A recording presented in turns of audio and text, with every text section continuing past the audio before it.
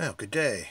In this session we're going to uh, take apart the infamous uh, Honeywell pressure control, the L404A 1354.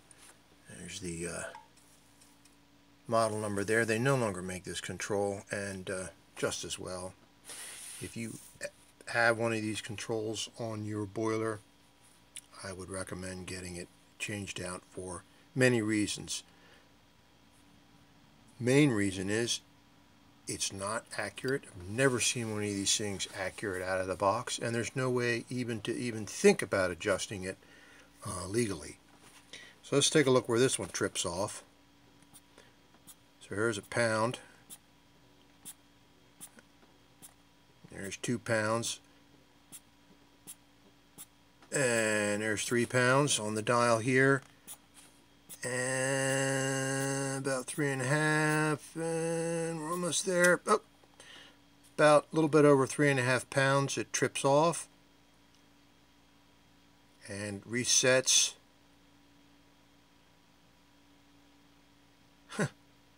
Is it going to reset? Oh, um, half a pound. So that's quite a range. You've got that's about the lowest setting you can make on this thing. If you try to go lower, what'll happen, it'll trip off at 3, but then it won't reliably reset. And you'll get a no heat call.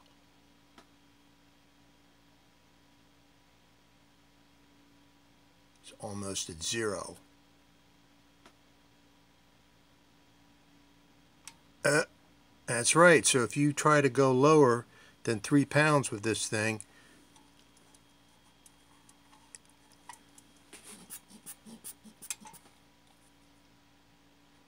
let's see if it resets.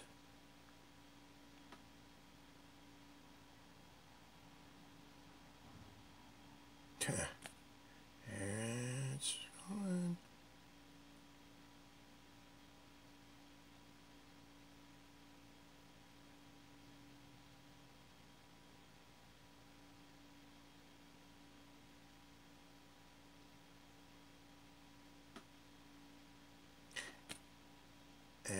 And there is a potential no heat callback right there. Three pounds, no reset. Maybe. So just why is this a crappy control? The answer can be found in the diaphragm. Although it looks like a high dollar item, and it is a high dollar item,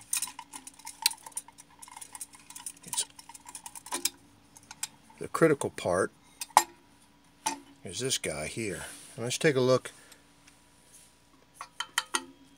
at the PA404A, which comes in just about every steam boiler made in the USA. The diaphragms are exactly the same. so they're they cheaped out on this. Let's take a look at uh, same basic controls here, but this one will work at about a pound. A pound is graduated in ounces. That's because the diaphragm is several times larger. And so while this control costs nearly twice as much as this, back in the day, this control is more accurate more reliable, and it doesn't contain mercury. So let's see where this one trips off. You've seen this one before, a couple of my videos. Listen for the clicks. Yeah, about 1.8 resets at about 0.8 and it'll do that all day. You could probably get this a little bit lower.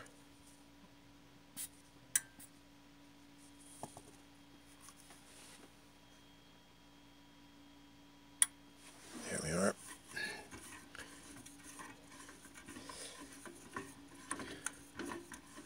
So you can put this thing on here. Vapor stat set at 8 ounces.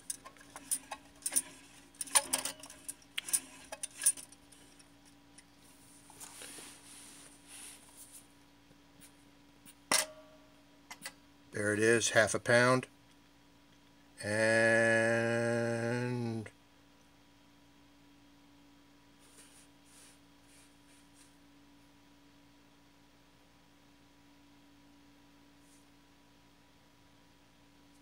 reset. So you can see the differential is subtractive on this one. You got to make sure that these mercury controls are level. You can see the um, little pendulum in the back there, which is where you're supposed to. So if this is just a little bit off, you might have a little trouble. So keep an eye on that with these old mercury controls if you do it. There it is, half a pound. Click. And reset.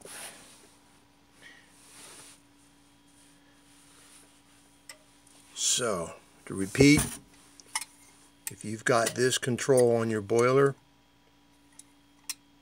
get rid of it, replace it with the uh, PA404A, and dispose of the mercury properly. And uh, happy steaming.